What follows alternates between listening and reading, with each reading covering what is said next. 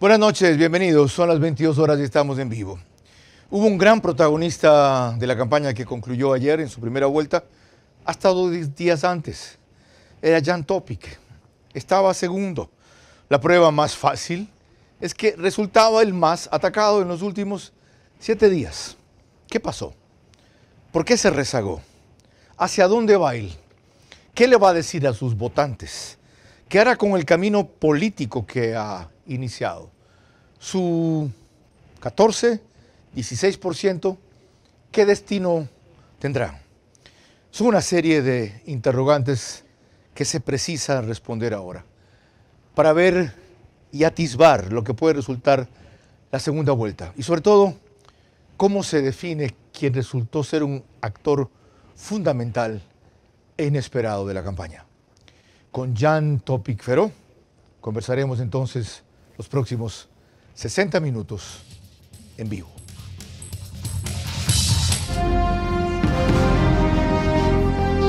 Este es Vera a su manera. Un comunicador que desde 1975 ha sacudido la televisión con formatos y estilos polémicos, sin ocultar sus simpatías ni jactarse de objetividad, pues el periodismo de opinión siempre asume una posición. Bienvenidos a coincidir o discrepar con Vera a su manera. Opinión con propósito. Democracia.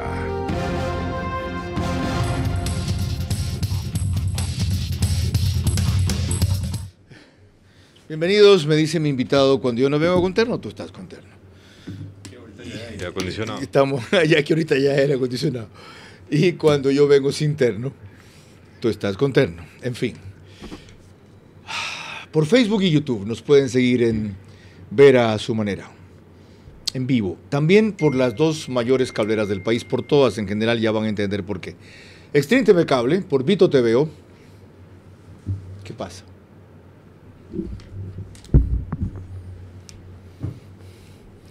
Extreme TV Cable por Vito TVO, canal 15 o 709 si prefieren alta definición. DirecTV, canal 194, que es Manavisión, canal 9, señal abierta en Manaví. Y aquí viene lo que les decía. En todas las cableras del país en general por RTU, porque está en DirecTV 117, CNT 12, TV Cable Extreme 69, Claro TV 30, Cable Unión 09. Esto por si ocurre alguna falla, como antes ha pasado, tienen ustedes una gran cantidad de alternativas. En radio 101.3 FM, Radio Centro, en audio y en eh, imagen para sus plataformas digitales. De paso, enormes gracias por el descomunal seguimiento que tuvimos ayer hasta las once y media de la noche. Valoro sobremanera el que hayan vencido el sueño para lograr un poco de claridad. En Manaví, Candela con K, 89.3 FM. Y en Riobamba, la bonita del centro del país, 89.3 FM también. María Clara Triviño, buenas noches. Carlos, muy buenas noches para ti, para todos nuestros amigos televidentes y radio escuchas también que nos acompañan esta noche. Comenzamos el programa revisando que en medio de la vorágine con que concluyó la campaña electoral y el bombardeo también de mensajes, de todo tipo de mensajes a través de las redes sociales, pocos recordarán que la campaña de Jan Topic la concluyó justamente enfrentando al líder por quien lo acusaban de ser un simpatizante. Rafael, sobre tu tweet, estamos de acuerdo en la primera oración. Hablas de asesino de barrio. Te recuerdo que en tu gobierno, las decenas de escándalos, asesinatos que existieron. General Gabela, Quinto Pazmiño, Fausto Valdivieso. Rafael, esos son nombres que no se borran. Tú hablas de abusador de familias. Recordamos el caso de Jorge Glass, violador de una menor de edad, de cómo tu gobierno protegió al violador del principito, de tu padre, narcotraficante. Rafael, tú hablas de doble moral, compañerito. El nuevo Ecuador comienza mañana, Rafael. Y va a ser, y eso te lo garantizo, finalmente, un Ecuador sin ti. Bienvenido, buenas noches, Jan. Gracias por aceptar la invitación a una conversación indispensable por todo lo que acabo de anunciar. ¿Por qué recién a estas alturas se acuerda de que eso era Correa? No, a ver, justo lo hablamos. El día antes o ese día saqué un video diciendo todo lo que ya había dicho. Es más, en tu programa ya había dicho. Eh, Hay un fragmento del programa en ese video Exacto. que lo vamos a revisar más adelante. Pues estábamos en la parte final de la campaña, donde no había que ensuciar los mensajes respondiéndole a un delincuente prófugo. Sí, pero a ver, fue una semana, y tienes los números ahí. Una semana de ataques, dijeron de todo. Hasta ahorita acabo de ver que lanzaron en Twitter un tema de que tengo un certificado del Ministerio de Salud Pública donde tengo enajenación mental. Dijeron de todo. Y claro, lo lanzan, o sea, dos, tres días del silencio electoral y después queden nada. ¿no? Entonces sí, eh, tal vez ni siquiera estuvo bien pero ya me llené ¿Por qué tal vez ni siquiera estuvo bien? Si lo que dice ahí es, verdad. Lo que a mi juicio estuvo es extemporáneo. Porque yo me prometí a mí mismo hacer una campaña muy, muy limpia, muy transparente. Eso no es sucio. Eso es lo que es decir inoportuno. En todo caso, eh, no es el único caso. ¿ah? Eh, también saltó un tema de las cámaras. ¡Ey! Correa también lo sacó el tema de las cámaras. Dos minutos, dos días antes del silencio electoral. Carajo. Diga, sobre la palabra. No, no importa. un año después de firmado el contrato o mágicamente sacan un tema de que algo de las, de las cámaras no les cuadra, es un informe que nadie ha visto, que a nosotros como proveedor no nos ha llegado el informe, dos días antes del silencio electoral. Estamos lunes y hasta la fecha. Si es un crimen tan importante, ¿por qué hasta la fecha no hace una acusación? primero, ya que trató el tema, luego vamos a volver al otro. Ahí se dicen dos cosas. Que ustedes entregaron X cantidad de miles de cámaras y las instalaron sin que les paguen un solo centavo. Y segundo, que lo que se llama analítica de las cámaras no funcionan. Ambas cosas son ciertas. Ustedes dieron una razón. Si ustedes tienen una razón de que no se había tenido que coordinar con la nueva administración lo del sistema para lo de la analítica, pero que en verdad no estaba funcionando. Y la otra, que en verdad no les habían pagado y a pesar de eso ustedes son tal institución de beneficencia que siguieron dando el servicio. A ver, primero, números claros. Suena a campaña, claridad de conceptos. Primero, contratos son 15.000 cámaras, donamos 3.000 más, gratis. Tema uno, eso nadie dice. Tema dos. ¿Por qué las donaron? porque, la plata No, porque miércoles me importa el bendito a la bendita ciudad, me importa el país. ¿Y usted cree que esto cree ah, eso? Estoy harto que roben. ¿Usted cree, usted no cree que eso es parte de un negocio? ah, yo hoy doy tres mil y mañana me dan otro contrato. ya no soy candidato, entonces ya puedo decir las cosas como Hable con libertad, por supuesto, ahora sí. Ya me vale madre. A ver, uno quiere, estoy harto, estamos muy, muy eh, apasionados por el proyecto, muy enamorados por el proyecto, la tecnología es de punta. Carlos, no existe proyecto de seguridad electrónica de esa envergadura en América Latina. No hay. ¿Qué es lo que hace? Y lo ¿Cuál dijimos, es el aporte de esas cámaras que hace? En una entrevista contigo lo dije, hace, ¿cuándo fue? Hace cuatro o cinco meses.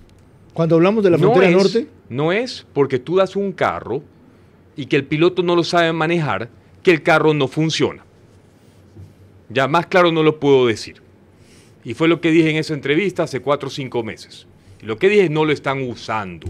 No es que la tecnología no ¿Por funciona. Qué no lo estaban y, usando? Y sí me saca Zen que vengan personas que no saben nada de tecnología, peor de inteligencia artificial, a venir y decir que no funcionan. Quiero que venga pues este señor a hablar lo que es una red neuronal convolucional, cómo funciona. Era muy fácil, a ver, entonces que sea una explicación técnica en vez de perder la cabeza. Pero yo no perdí la cabeza, yo ni siquiera hablé del tema, yo lo dejé pasar. La otra parte que le pregunté, ¿cómo, ¿cómo dan ustedes un servicio sin que les paguen? Porque tienes que hacerlo. ¿Quién dice que tiene que hacer? Ustedes son la única empresa que hace eso. Tú no puedes privar al Estado de un derecho básico. Es como yo no le puedo cortar el internet a una, a una al Mineduc, por ejemplo. el juicio me cae a mí. Es como lo que tú mencionaste, el caso de la comida en las cárceles. Tú no puedes dejar de dar el servicio. Por más que no te paguen, tienes que hacerlo, es tu obligación. no solo tu obligación jurídica, yo diría incluso tu obligación moral. ¿Sabe que eso en vez de generar comprensión, gratitud y solidaridad genera sospecha? Oye, que tienen los topis que se dan el lujo de hacer esto. ¿Sabe con qué lo voy a comparar y no se ofenda? Con que Norero tuvo contratos con el municipio de Manta y dijo yo no necesito anticipo. Sí, te lo compraría hasta cierto punto, Carlos, pero repito, nosotros facturamos cuánto, 500 millones de dólares al año. No sé. Entonces, de toda nuestra facturación, el Estado Nacional es 4% de nuestra facturación. Ok. Es mínimo. Esa es una explicación. O sea, Es un mínimo. incumplimiento de pago en esto que también es de Estado no los tira abajo financieramente. No, la- el 96% de nuestra facturación va al sector privado. ¿Y qué era lo de que la analítica no estaba cuadrada, coordinada con el nuevo equipo para que funcione? ¿Qué es eso? ¿Cómo con el nuevo equipo? Es- es- Disculpa, es que eh, el eh, tema la- es, la entiendo que la información que tú das es la, que da el la otro. explicación que dio Telconet es esa. Ustedes dijeron que no es que no funciona la analítica de las cámaras, sino que no había habido la coordinación con la nueva administración para... Ah, el nuevo equipo de trabajo, pensé que un nuevo equipo de técnicos, No, un equipo no, software, un no. hardware, ya, ya. ya. Eh, no, sí, está en periodo de transición. Está en periodo de ¿Y transición. por qué o el sea, periodo de transición se deja de funcionar en ese sentido? No, no, no, a ver, a ver, a ver. de- de las cosas súper claras. El tiroteo que hubo el, ¿cuándo fue? la- el sábado, fuera del Café de Tere, que estaba el candidato para Sí, el Café de Tere. correcto. ¿Con quién crees que cogieron las cámaras? ¿Con qué cámaras cogieron a los ladrones? Digamos las cosas como son. No sé. Con las nuestras. ¿Te acuerdas del tiroteo que hubo que mataron a esa persona por debajo del paso de nivel en Ceibos? Se hizo Sí, famoso el comité. también. ¿Con qué cámaras que El de cogieron? una decana de medicina o algo así era. No, no, no, esto fue el presidente del comité barrial de Ceibos. Ah, Ahí oh, va. ok, ¿Te otro. acuerdas? ¿Sabes cuántos casos de ¿Por secuestro, dice de robo, de cámaras No son de extorsión? ustedes, son del municipio, compradas por Las el que municipio. nosotros- lo- bueno, son instaladas por ustedes. No, no, no son compradas por el municipio. ¿Ah, no? Son modo alquiler. Ah, no modo sabía alquiler. Es eso. como cuando alquilas un carro en Avis. Ok. Ya. Entonces, el decir que no funcionan, y todos los casos con la UNACE, todos los casos con la DINASER que hemos resuelto con nuestras cámaras, ya, ya. Pero no cayeron ustedes en el juego justo la última semana al entrar a responder en detalle. Cuento aclarado, nunca acabado, decimos en Manaví, en mi tierra. Sí, pero a ver, ahí viene el tema, y eso te hago la pregunta honesta como periodista. Es interesante. Y incluso lo tienes que pensar conceptualmente, académicamente, cómo arreglas la democracia. Porque si tú tienes un silencio electoral el jueves y tienes todo este aparataje político de prensa que te abomba con noticias falsas y llenó al Ecuador, ey, del, del fin del debate, del lunes al miércoles, todo era noticias falsas de Jan Topic. Pero se llenó el ¿No Ecuador. sabe lo bueno que era eso? ¿Sabe qué significaba? Que usted iba segundo. Lo que Sí, tenían sí. que decir, miren, soy el más atacado porque es evidente que voy segundo, si no, no me atacarían. Los que vienen atrás me quieren bajar. Eso era todo lo que había que responder. No, pero eso no funciona. Porque ¿Qué en la mente de muchos del, del electorado, muchas personas van a decir, no, pues a ver, tengo mis dudas. Tengo... Carlos, mucha gente pensaba que era correísta. Mucha gente todavía piensa que soy correísta. Sí. Entonces, Que sigan pensando. ¿Sabe, sabe que mucha No, gente, es que no, sabe que mucha tiene- gente que sí cree, que yo tengo un yate, que dijo Correa que tenía un yate? ¿Y usted me ve todos los días hablando que tengo un yate? ¿Para solo ilustrar una de sus 100 mil calumnias? bueno, Y aquí me ve. Aquí me ve.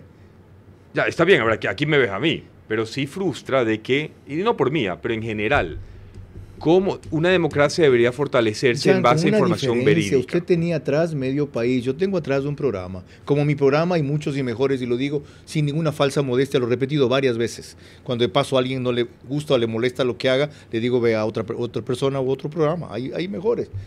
Usted tiene una responsabilidad que supera la mía y que le exigía un nivel de control que no tuvo. Pero ¿De qué estamos hablando? de los videos que le responde a Correa el último sábado. El ya. último día. Lo No sé, sacó a de ver, tú me dijiste que el uno te gustó. El último te gustó. Eh, y vamos a poner ese, ¿ok?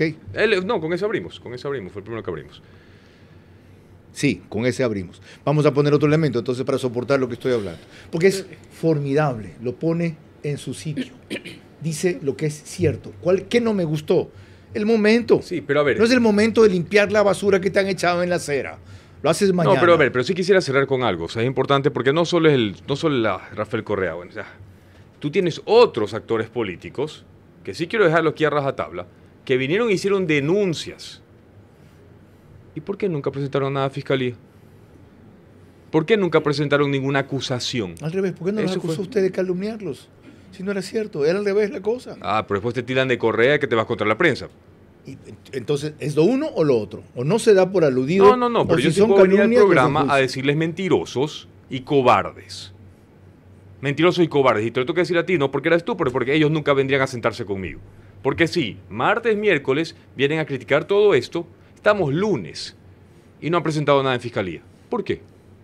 Ah, show mediático, ¿no? Ok, Entonces, esos que se tildan a impolutos y toda la vaina, ¿en qué quedó? avancemos para sustentar lo que yo le decía que era su posición. María Clara. Veamos en este momento por unos instantes que la empresa perteneciente al grupo familiar de Jan Topic, divulgó hoy que en efecto habían notarizado el sábado en la notaría décimo sexta del Cantón Guayaquil, en ese momento los resultados, dando el segundo lugar al otro candidato, Daniel Novoa.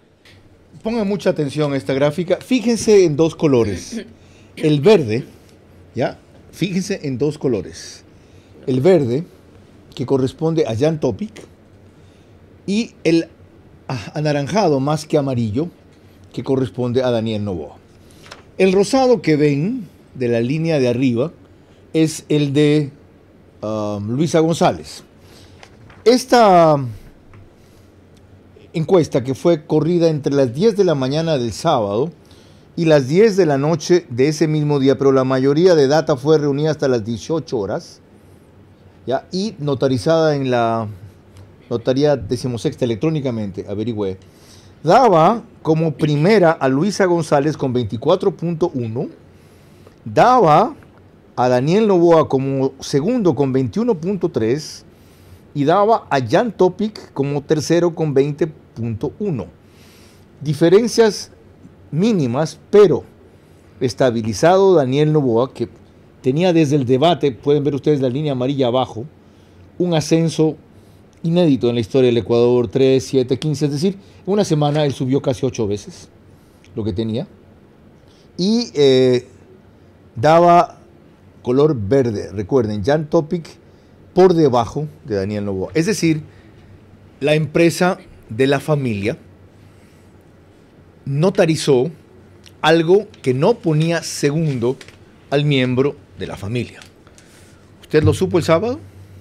Sí, no, lo, supimos desde el día miércoles. O sea, el miércoles supimos ya el ascenso de Daniel. Y ojo, y lo comendo a Daniel, ah, excelente trabajo esa semana. La verdad que impresionante lo que hizo. Impresionante lo que hizo. ¿Qué fue impresionante?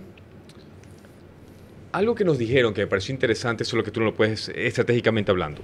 Tú quieres pasar por debajo del radar hasta el último minuto. Por si no te pasa lo que me pasó a mí.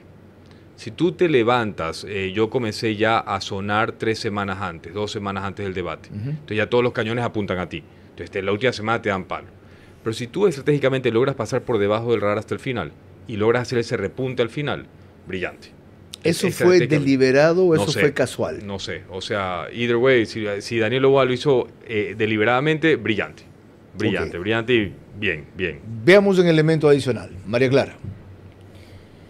Y este es otro que se genera que pudo haber desentusiasmado probablemente a una parte del electorado que en la fase final de la campaña tuvo en segundo lugar a Jan Topic y estaba la constitución de una fuerza policial tan poderosa que generaba probablemente un poco de miedo y preocupaba también que ese tipo de represión generara una guerra mayor de la actual librada principalmente entre los delincuentes.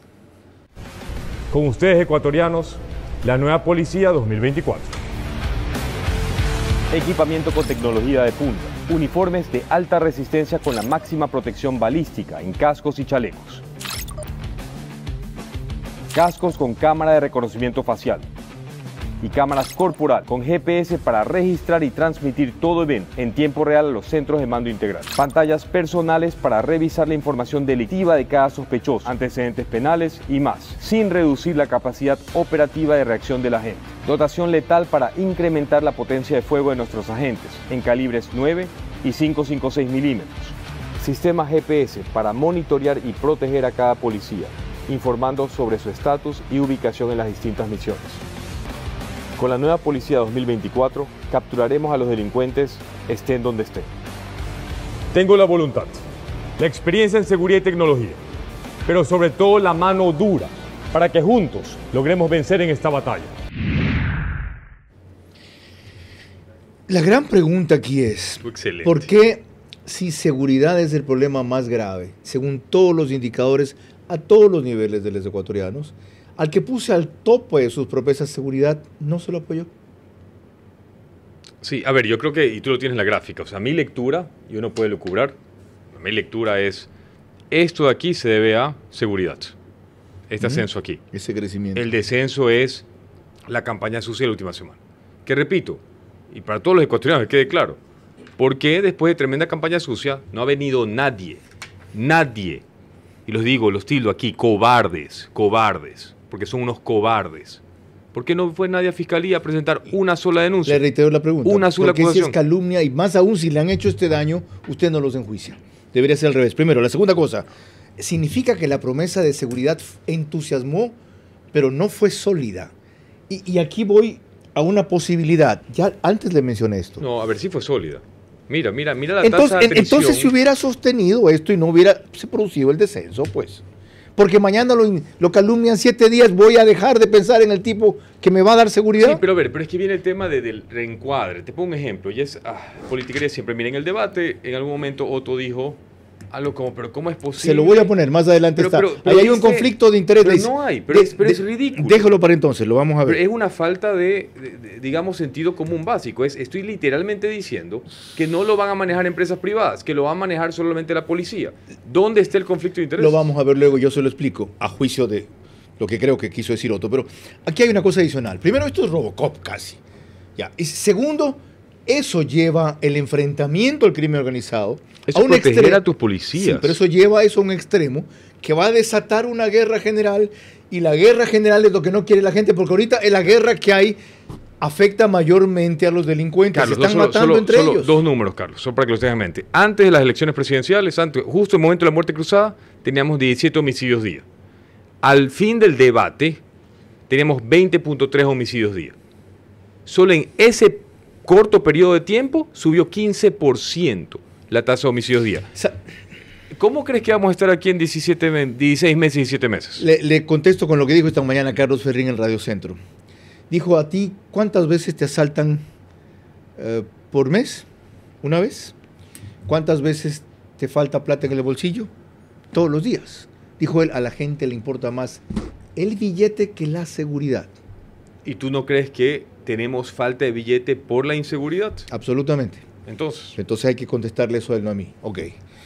¿Qué falló en la propuesta de seguridad? ¿Cómo es posible que una propuesta que privilegiaba lo que más preocupa a los ecuatorianos no haya merecido un apoyo mayor? Se lo pregunto al mayor Fidel Araujo, que es un experto en estrategia militar y en temas de seguridad. Gracias por acompañarnos, mayor, y buenas noches. Carlos, buenas noches. Buenas noches a Jan. Buenas Mayor. noches a todos los ecuatorianos. Eh, no le faltó nada a la propuesta de Jan. Aquí definitivamente no hay una cultura de seguridad. Más allá que la cultura, eh, o mejor dicho, la seguridad es transversal y atraviesa por varios temas que son de interés de todos los ecuatorianos. Hablamos de seguridad ambiental, seguridad social, seguridad económica y una diversidad de actividades cotidianas que realizamos como ciudadanos. Lo que pasa es que cuando vienen estas campañas electorales, eh, si se habla de, intereses de empresarios, de los intereses que no están vinculados con el pueblo ecuatoriano, eso, es la, ese es el antivalor que se ha posicionado. Entonces, el desangre es absoluto frente a la falta de cultura, entre comillas falta, sino es eh, premeditada para hacer daño a una persona que estaba eh, proponiendo algo coherente y lógico. Entonces utilizan los medios, utilizan los outsiders, perdón, los, influencers, utilizan aquellos que tienen credibilidad y empieza a decaer la percepción o la verdadera necesidad. Ok, la causa entonces es lo que usted llama una falta de cultura de seguridad en este país o es un exceso en la oferta, ¿quién creyera? Un exceso en la oferta de seguridad de Jan Topic. No hay exceso. El desangre es el exceso. El exceso es de aquellos que quieren auto beneficiarse del desangre. Entonces venga una persona con conocimiento, con determinación y que quiere hacer las cosas, entonces el otro grupo lo deconstruye. Y además estamos en este escenario porque se le decía al presidente actual que es un blandengue. Eso era generalizar. Y ahora vemos a una persona que tiene el conocimiento, tiene la tranquilidad, pero la firmeza para llevar adelante y lo deconstruyen. Y ese es el Mayor, que va- lo que estamos invierto la pregunta.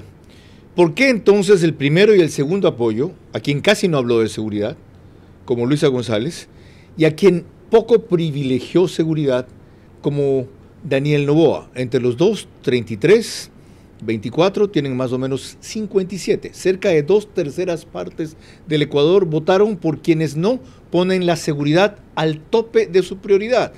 ¿Qué mensaje hay allí?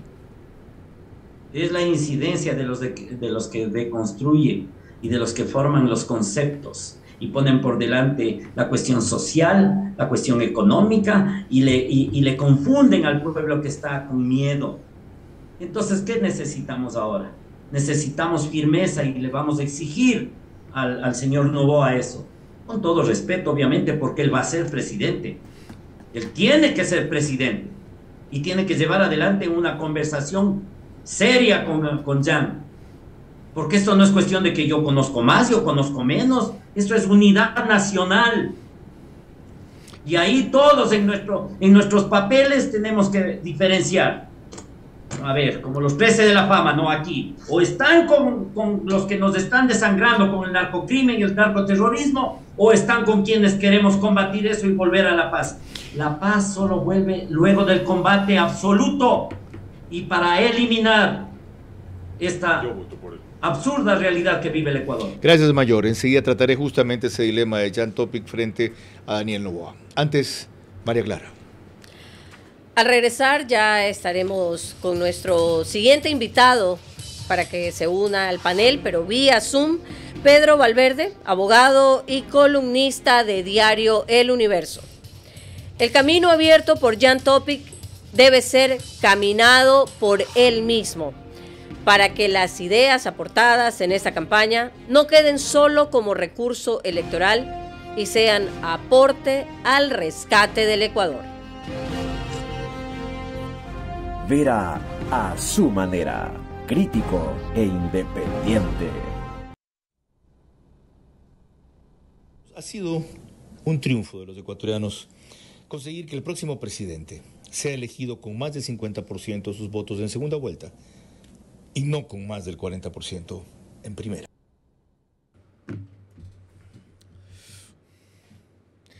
Esta es una entrevista al ex candidato presidencial Jan Topic para ver qué lo rezagó y a quién apoya.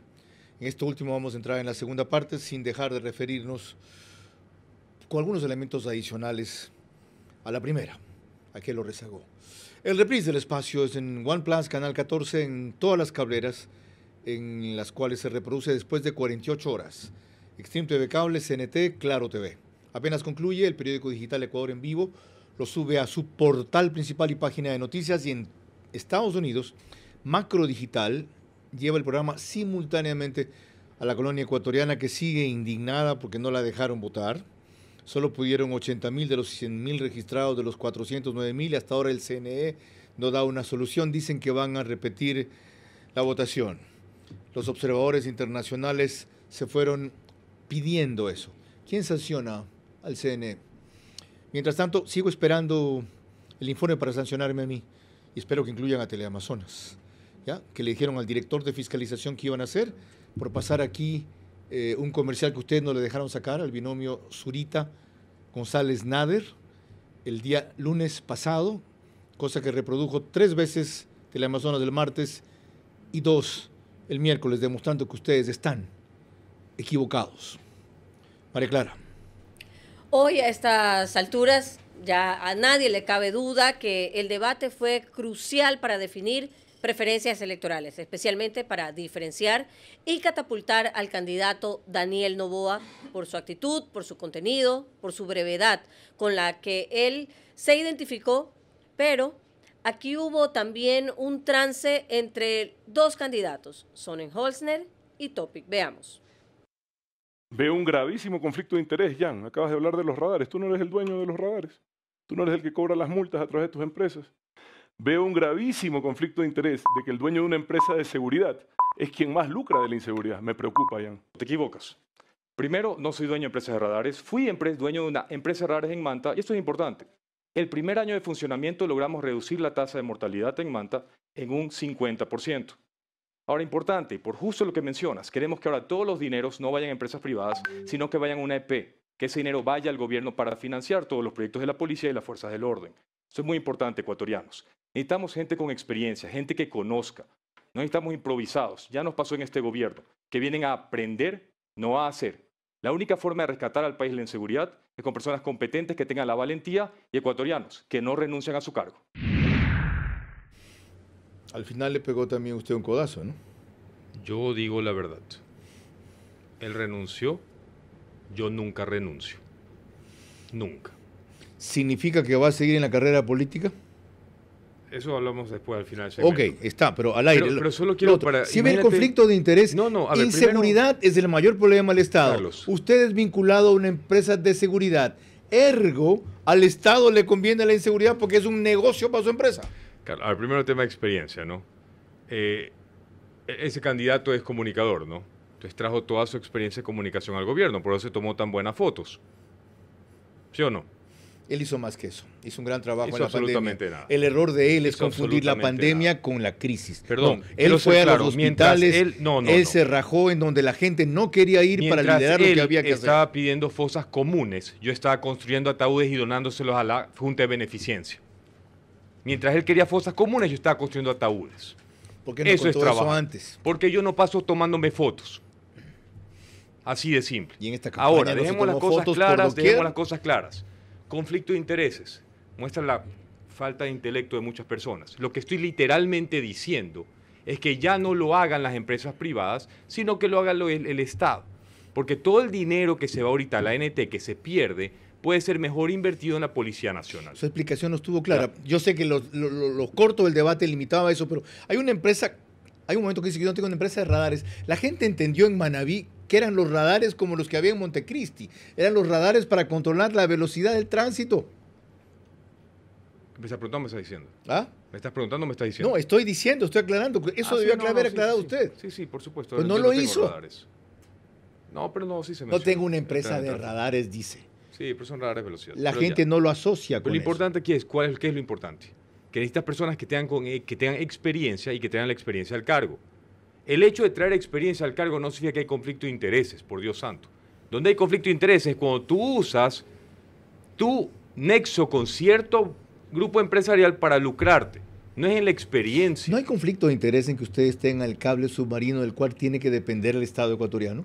Siendo empresa El privada. Estado ecuatoriano. ¿Ves? Perdón. No, eso es, eso no, na- discúlpame, con todo el respeto, Carlos. Nada de lo que dijiste ahorita tiene sentido. Ya. ¿Cuánto ¿Qué crees que nos, el cuánto crees, ecuatoriano para cuánto nos compra CNT? partes? ¿Cuánto nos compra CNT del, del cable submarino? ¿Cuánto? 9% tal vez. 0%.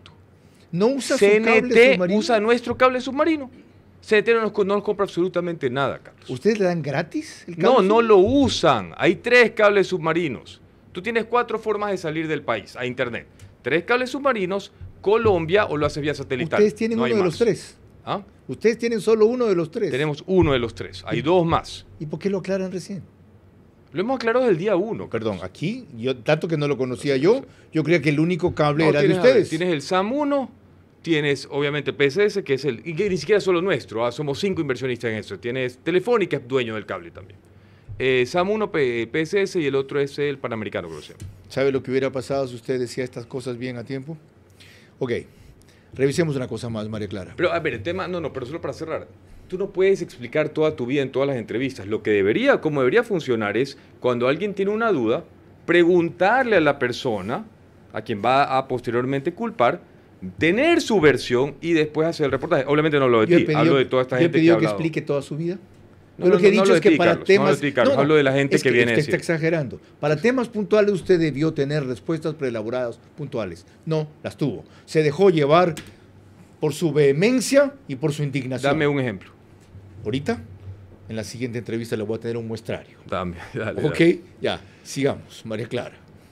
En ese momento es importante destacar que desde la primera entrevista en el programa Verás con nuestro director Carlos Vera, el candidato Jan Topic definió claramente por qué consideraba tanto a Jorge Glass como a Rafael Correa corruptos.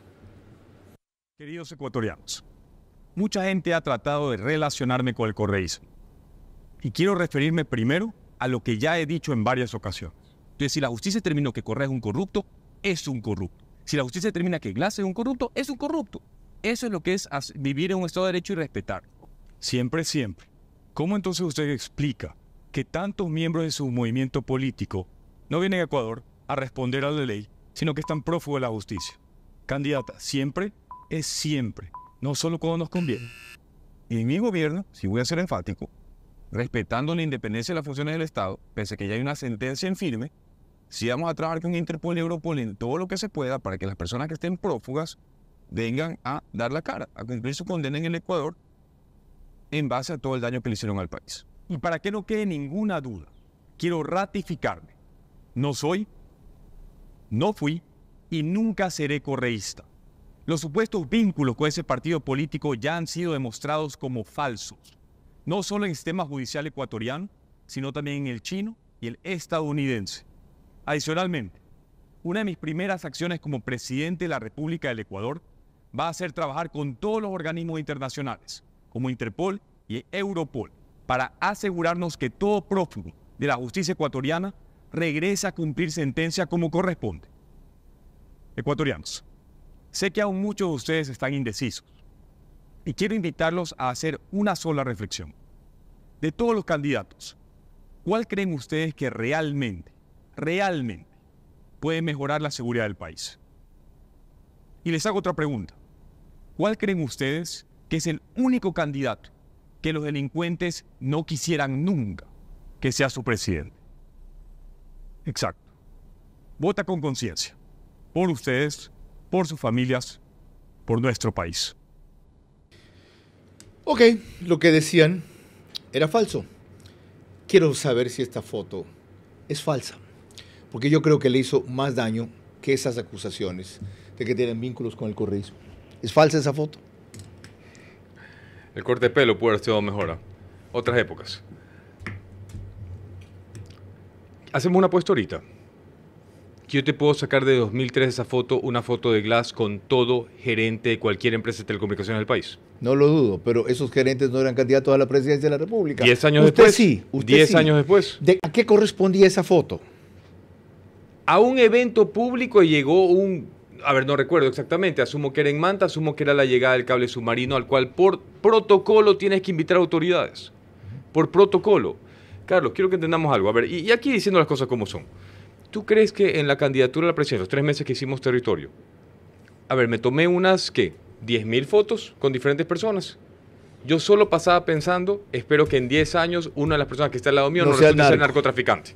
Porque me van a decir, ahí está, ya en tópico del narcotraficante. Ok. Y, y quiero ser enfático. Yo te apuesto que te puedo sacar una foto de Jorge Glass con cualquier gerente de cualquier empresa de telecomunicaciones, solo el 2013. Porque es protocolo, tienes que hacerlo. Ya comenté eso. Ahora, quiero preguntarle a Pedro Valverde qué posición debe asumir Jan Topic, que se la vamos a inquirir a él personalmente después de la consulta con usted de aquí en adelante. Hemos hablado de aquí hacia atrás. Buenas noches y bienvenido, Pedro. Buenas noches, Carlos. Buenas noches, Jan. Eh, buenas noches a la audiencia de este programa, la audiencia de este programa. Bueno, antes que nada, yo quiero aprovechar a felicitarlo, que ya lo hice a Jan. Creo que hizo una candidatura de altura, eh, le agregó mucho valor a estas elecciones. Em, yo espero que se mantenga activo en la política. Eh, espero que no cambie su- la forma en que ha hecho esta campaña, una campaña sin destrucción, una campaña positiva, una campaña franca, directa.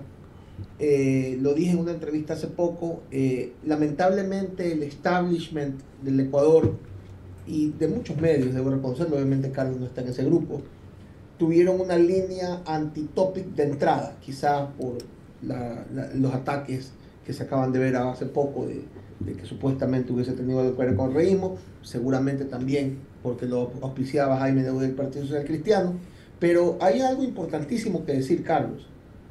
Jan Topic pateó el tablero electoral desde que entró porque fue el que puso al Ecuador a hablar de seguridad. El Ecuador estaba desesperado por la inseguridad, pero quien pone al Ecuador a discutir en esta elección sobre la inseguridad y sobre la fórmula de resolverla es Jan Topic y pone a todos los candidatos y pone como agenda principal de esta, de esta campaña eh, la, la- la lucha contra la inseguridad. Entonces, yo creo que ha sido una campaña muy buena, creo que es una campaña muy corta, nadie lo conocía, creo que eso pues ya cambió y creo que tiene, él debe mantenerse activo. Ok, esa, es la, esa es la primera parte de mi pregunta, abogado Pedro Verde. La segunda, ¿activo cómo? ¿A quién debe apoyar y por qué? Yo creo que debe ser de acuerdo con su conciencia y con lo que él crea que tiene que apoyar. Porque la primera vuelta no es igual que la segunda vuelta. Algo muy importante. Daniel, que ha hecho una buena campaña y que se encontró con los planetas alineados para que pueda llegar a donde está. Y, lo felicito muy bien por él. La segunda vuelta va a ser diferente.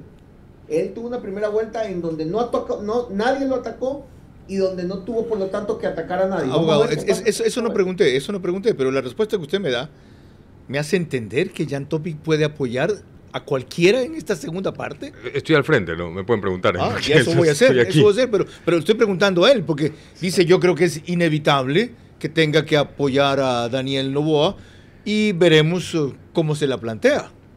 Yo creo que eso es decisión de Jan Topic, no lo que yo le quiera decir que tiene que hacer.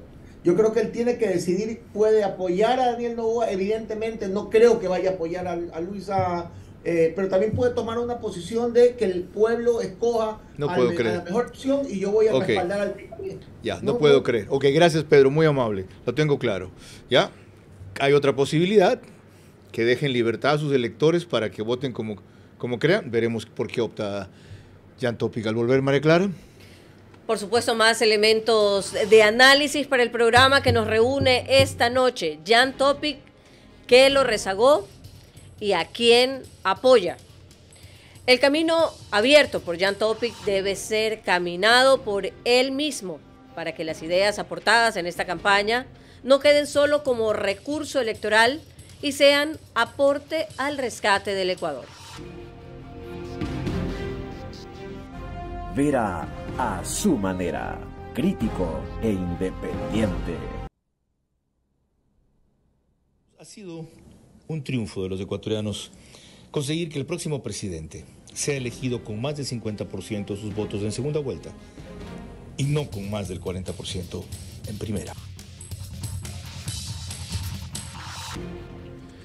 Mañana tratamos aquí la composición de la Asamblea antes de la tercera parte final en que pediremos una definición clara de a quién apoya y por qué a Jan Tópico, qué línea va a tomar, tras lo que le acabo de escuchar a Pedro Valverde.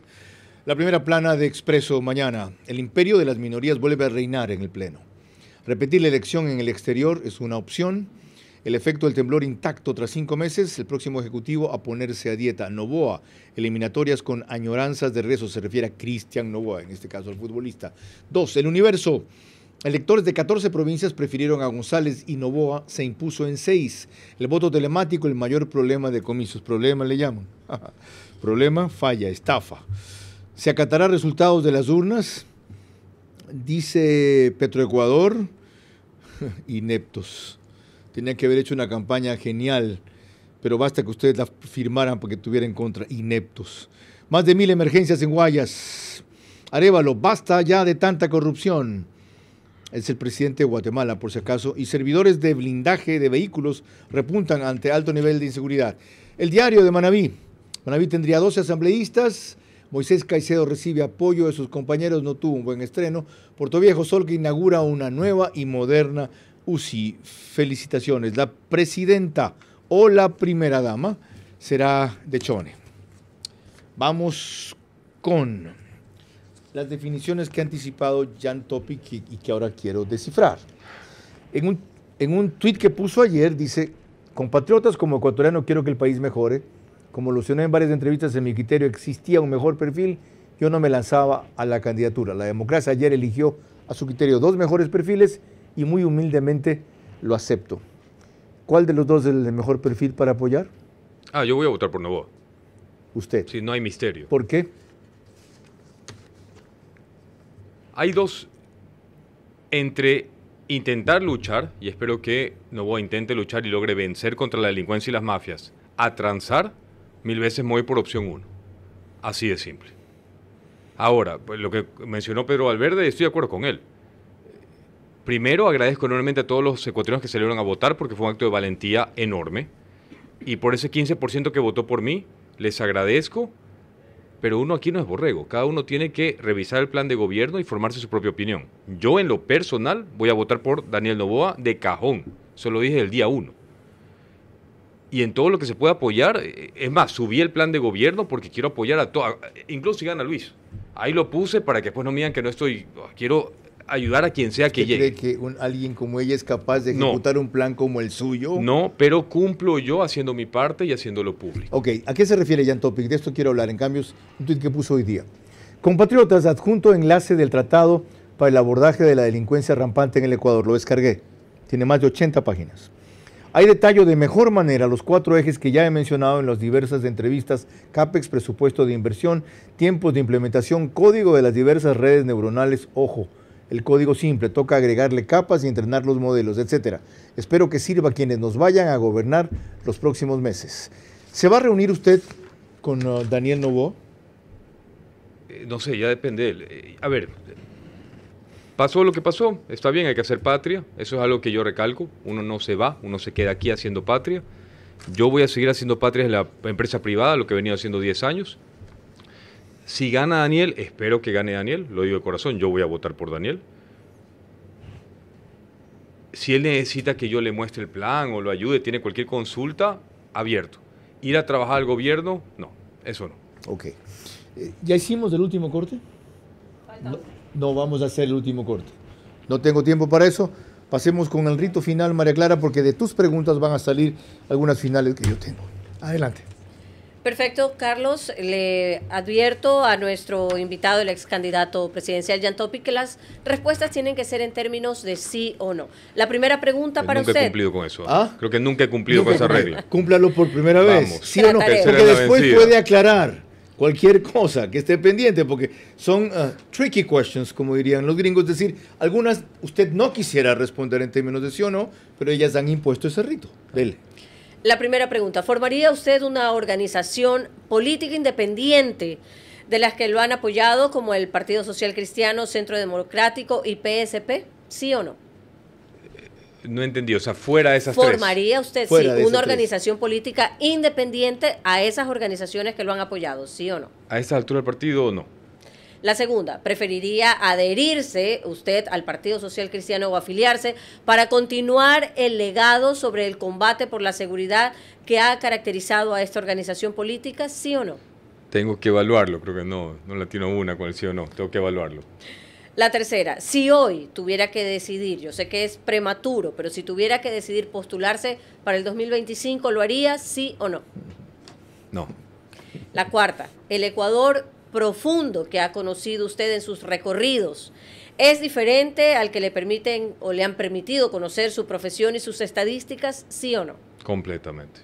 La quinta y última, ¿teme usted que aquellos a quienes les avisó que el 20 de agosto se les acabaría la fiesta, hoy le digan a usted que la fiesta se le acaba, sí o no.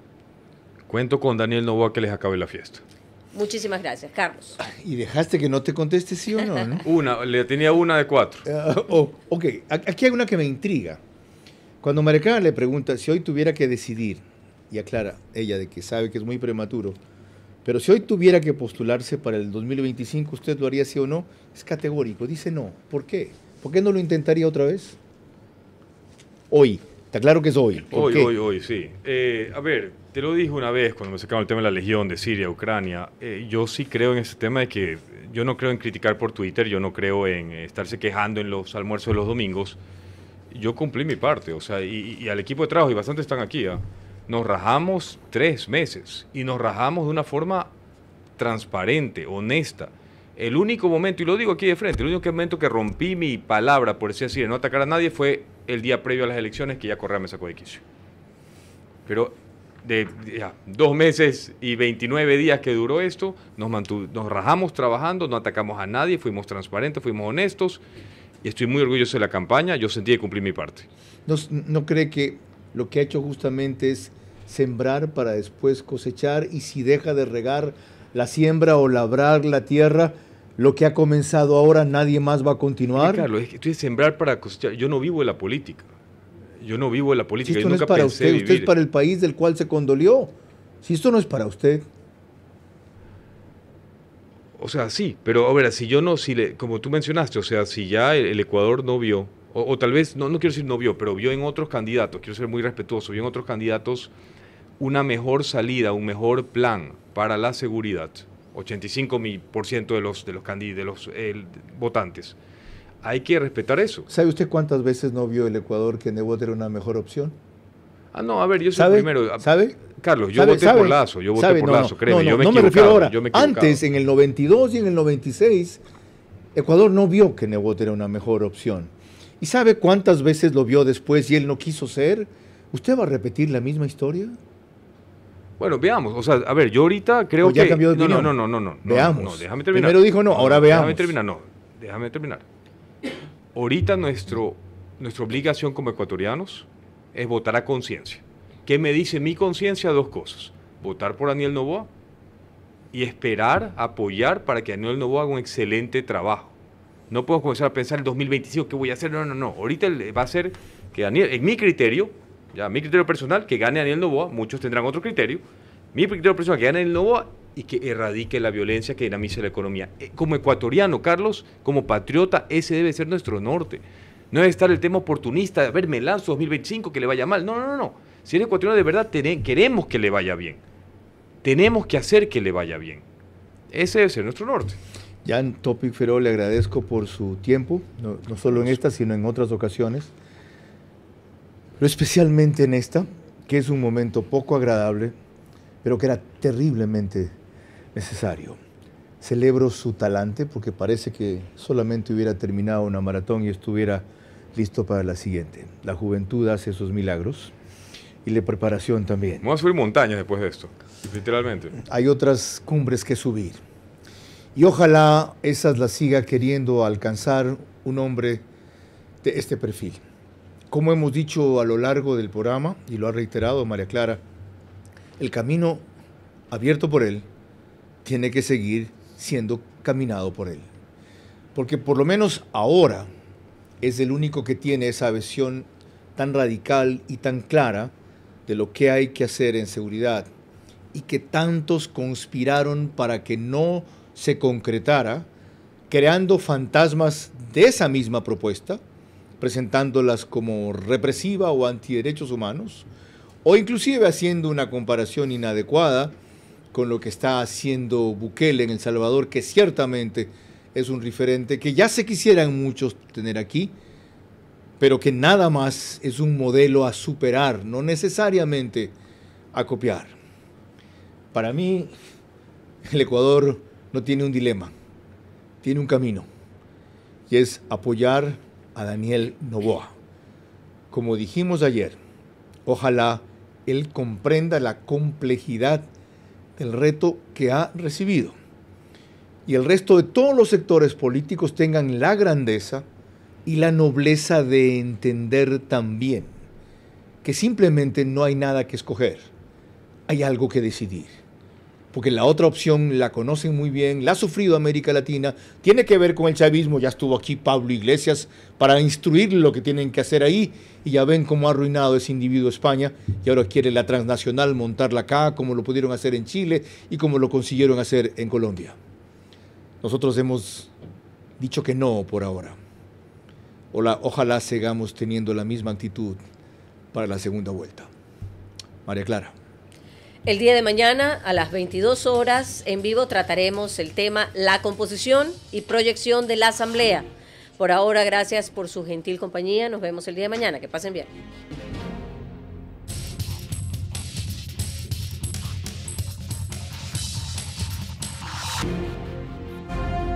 Vera a su manera. Llegó gracias al auspicio de